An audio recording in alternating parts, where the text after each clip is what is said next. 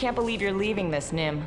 I can't believe you're staying. Come on, live dangerously. Thanks, but I'm gonna stick around.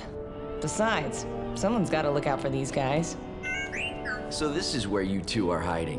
What's up, Ugly? Look who's talking. You really going so soon? I gotta get these supplies to my men. But hey, if you ever get sick of working in paradise, you know who to call. Thanks, Nym.